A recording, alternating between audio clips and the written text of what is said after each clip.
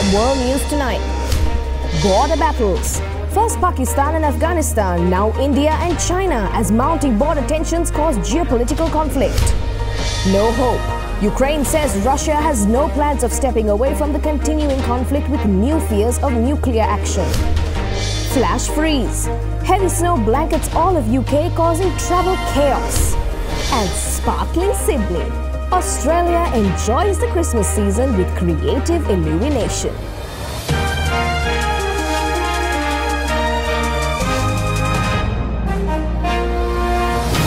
This is Ada Derana World News Tonight. Reporting from Colombo, here is Anuradhi Vikramasinghe. Good evening and thank you for joining us on World News. We start off tonight with a reignition of age-old border conflicts. India says its forces have clashed with Chinese troops in a disputed area along the border. The first such flare-up in more than a year, the nations had been working to de-escalate tensions since a major clash killed at least 24 troops in 2020.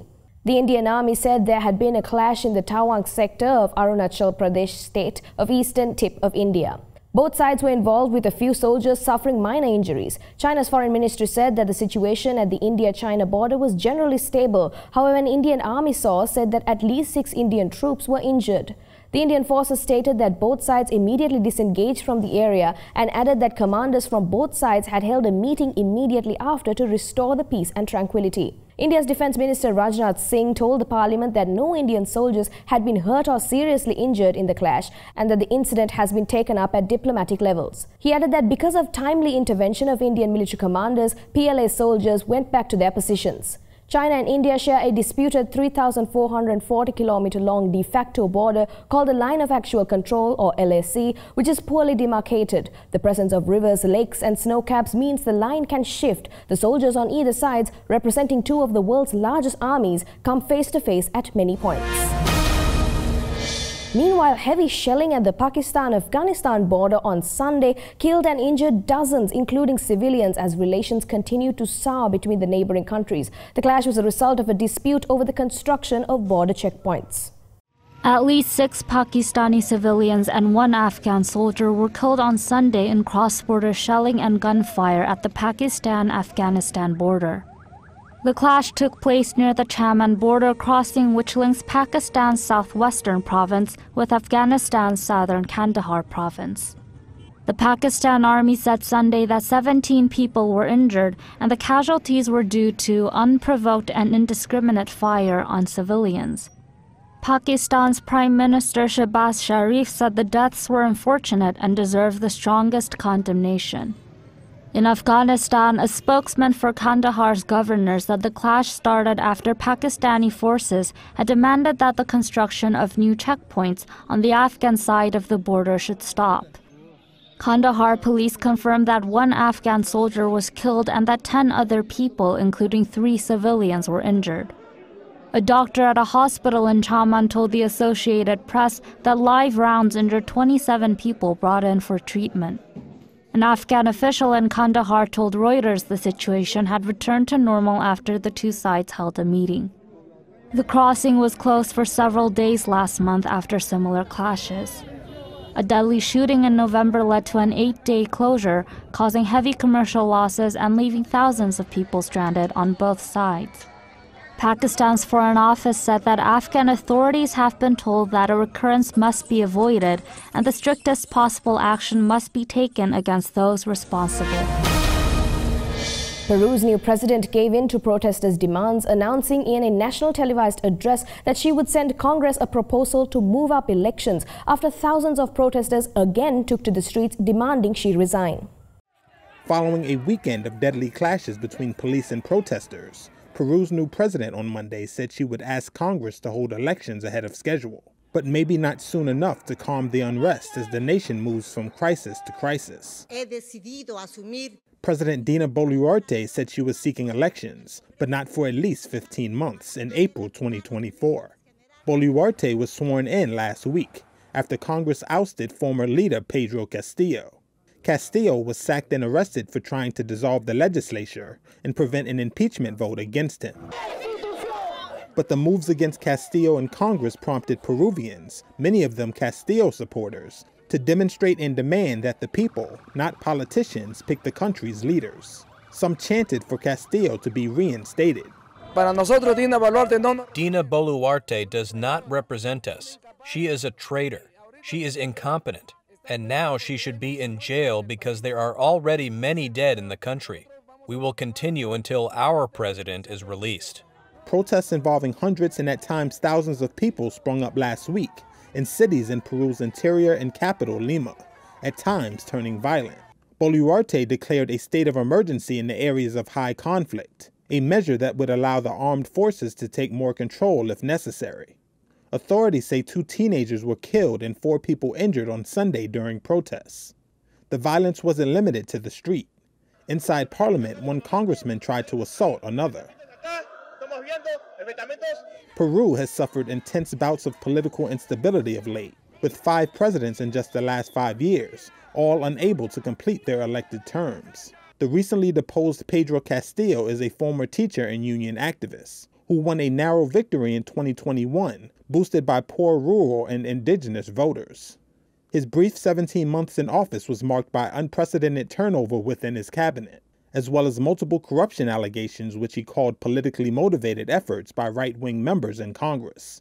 Castillo, who has been under preliminary arrest since Wednesday, is being investigated by prosecutors for the alleged crime of rebellion and conspiracy.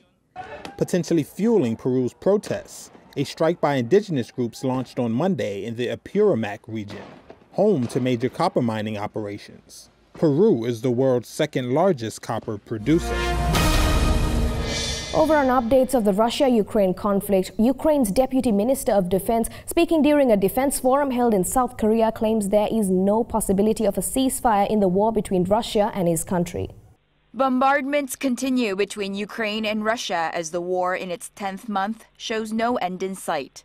Just last week, Ukrainian drones struck two air bases deep inside Russian territory, to which Russia quickly retaliated with a massive missile barrage that struck homes and buildings, killing civilians. Amid worries that further escalations could make the war turn nuclear, Western countries have been expressing hopes of a ceasefire, suggesting Christmas as a date for Russian forces to withdraw. But Ukrainian Deputy Minister of Defense Volodymyr Gavrilov sees no end in sight for the war. During a defense forum hosted by the Korea Institute for Defense Analyses on Monday, he said as long as Russia is on Ukrainian territory, there will be no ceasefire. Russia is interested in ceasefire just to strengthen the military posture in Ukraine. Until Russia is on our territory, there is no possibility of ceasefire. He also mentioned the worries about the war turning nuclear. I don't want to talk about nuclear but if uh, the Russia decide to apply nuclear, of course, it's the most highest level of escalation in this conflict. But I hope it will never happen. Active support from Western countries has helped Ukraine fight back. In response to Ukrainian President Volodymyr Zelensky's appeal to the virtual G7 meeting being hosted by Germany, the group of seven leaders vowed to support Ukraine for as long as it takes. The leaders of the world's wealthiest nations on Monday pledged their unwavering support, promising to meet Ukraine's urgent requirements. As the G7 leaders also called on their finance ministers to meet in the near future for discussions on supporting Ukraine in 2023. The European Union has agreed to add 2 billion euros to a fund used to help arm Ukraine as it seeks to ensure it can keep delivering weapons to Kiev. The 27 nation bloc has drained a peace facility budget originally meant to last to 2027 in just 10 months of war as it has covered the cost of some arms being sent to battle back Russia's invasion. European Union foreign ministers have agreed to put another 2 billion euros into a fund used to pay for military support for Ukraine. The fund has been largely depleted after almost 10 months of war since Russia's illegal invasion. Meeting in Brussels on Monday, the ministers said further top-ups are also possible. We will assist Ukraine on repairing its energy system. We will increase our electricity exports to Ukraine. We will continue working to ensure accountability for all involved in this war in order to make impunity impossible. Ministers were also planning to discuss a ninth package of sanctions on Russia, as well as new sanctions on Iran over its crackdown on anti government protests. We consider unacceptable the use of capital punishment as a tool to repress the, the protesters. In the new package of sanctions for human rights violations, we are targeting those responsible for this continued repression against protesters. 20 individuals and one entity were sanctioned over human rights abuses, while four more people and as many entities were added over the issue of drone supplies to Russia. Let's go for a short commercial break. More news on the other side.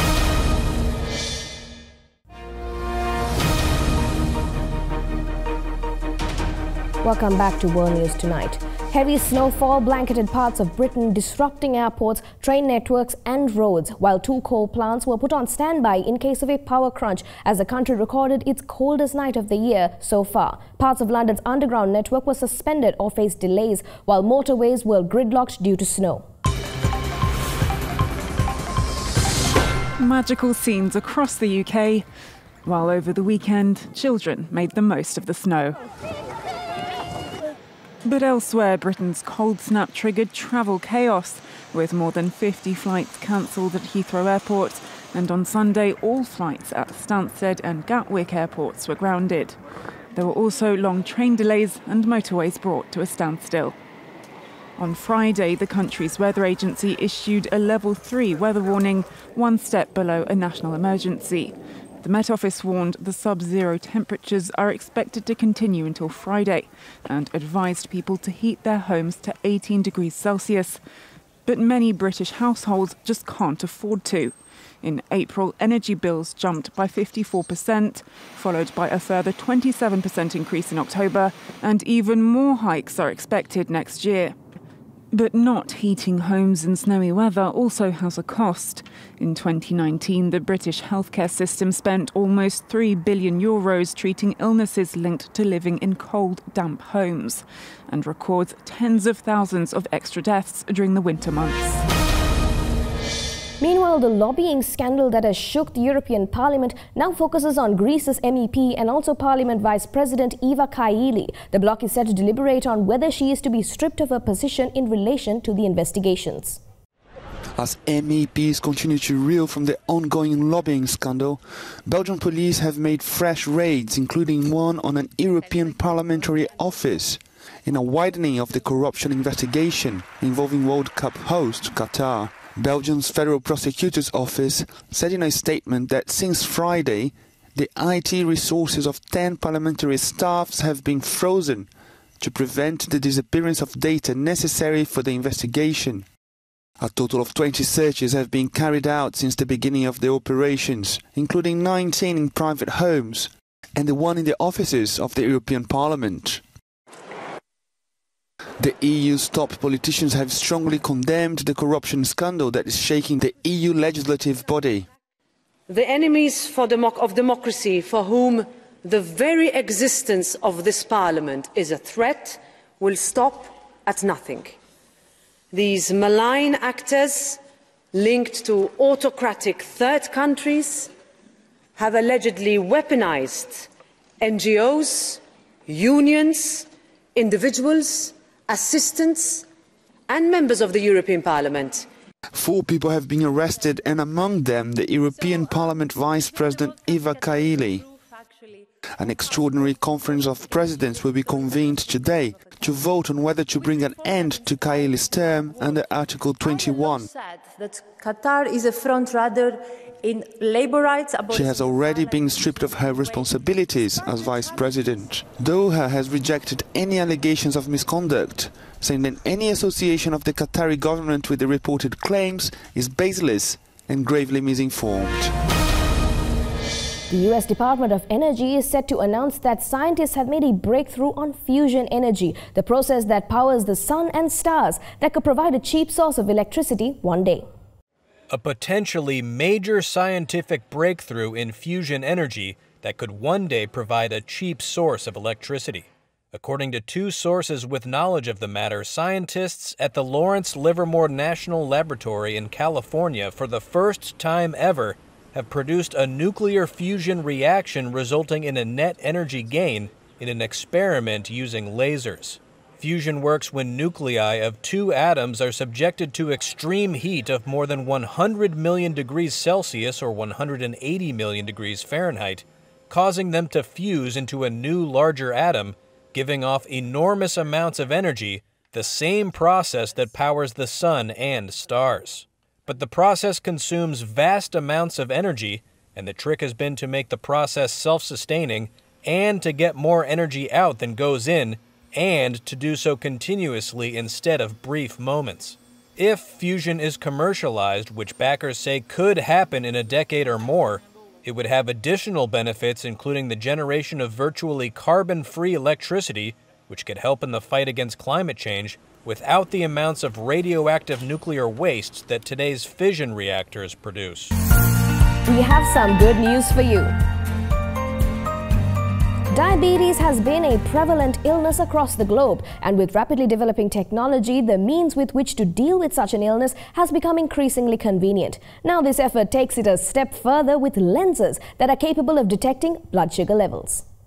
A South Korean research team has developed a type of smart contact lens that can automatically check blood sugar levels by just wearing them. A small device placed near your eyes while wearing the lenses detects your current blood sugar level and immediately displays it on a smartphone. This smart lens consists of an antenna, a semiconductor chip, and a sensor that can measure blood sugar. In order to quickly absorb even a small amount of tears, a hydrogel that has numerous small pores on its surface is filled with a nano catalyst to increase reaction speed and sensitivity. This enables the smart lens sensor to immediately check the user's glucose levels. Made in collaboration with a soft contact lens manufacturer, this smart lens can measure blood sugar, be worn all day, and even correct vision. Color lenses also have shapes, but they're invisible to the naked eye. As long as shapes don't block the passage of pupils, we cannot see them. The circuit we're making is also on the outside of the pupils, so it does not impair sight. After conducting clinical trials and experimenting on rabbits, scientists have confirmed that the smart lenses accurately measure glucose levels just as well as conventional meters. The research team has also succeeded in developing LED smart lenses that can prevent retinopathy, a complication of diabetes by allowing the developed lens to emit remedial light. They're also developing smart lenses that can directly administer corrective drugs to the eyes according to the blood sugar and measures. Aspen, a global multinational specialty pharmaceutical company, announced today that it would receive 30 million US dollars from the Bill and Melinda Gates Foundation and the Coalition for Epidemic Preparedness Innovations to support its capabilities to manufacture vaccines for Africa. South Africa's Aspen Pharmacare has finalized agreements securing 30 million US dollars from the Gates Foundation and the Coalition for Epidemic Preparedness Innovations. That's according to the company on Monday, which said the funds would be used to help make affordable vaccines for Africa. In August, Aspen announced a deal with the Serum Institute of India to make and sell four Aspen branded vaccines for the continent, as it looked to use its near idle COVID 19 vaccine production lines. Aspen said the 10 year agreement with Serum Institute would be supported by the funding from CEPI and the Gates Foundation. Each of the two will contribute $15 million. The Serum Institute agreement provides for Aspen to make and distribute four vaccines commonly administered in Africa. In August, CEO Stephen Saad said the contract gives Aspen certainty on volumes and will eventually cover an expected fall in revenue from its COVID vaccine contract with Johnson & Johnson.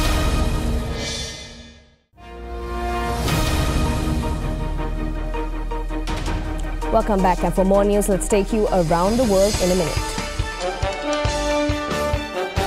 Six people, including two officers, were killed in a gunfight at a remote property in Australia's Queensland state after police visited a home there to investigate a missing person report. Dozens queued while paramedics rushed the seriously ill into a fever clinic in eastern Beijing almost a week after Chinese authorities scrapped major COVID restrictions across the country. Drone video captured scores of migrants waiting near the border fence at El Paso, Texas after they crossed from Mexico. About 1,500 people crossed the Rio Grande overnight amid an increase in migrant arrivals in the area ahead of the expiry of a pandemic-era order that blocked them in the US-Mexico border. Prime Minister designate Benjamin Netanyahu pledged to balance out religious and secular interests in Israel as he tries to form a new government with nationalist and ultra-Orthodox Jewish parties. Supporters of far-right Brazilian President Jair Bolsonaro attempted to invade the federal police headquarters in Brasilia, the capital, protesting the arrest of an indigenous leader in the first major flash of post-election violence.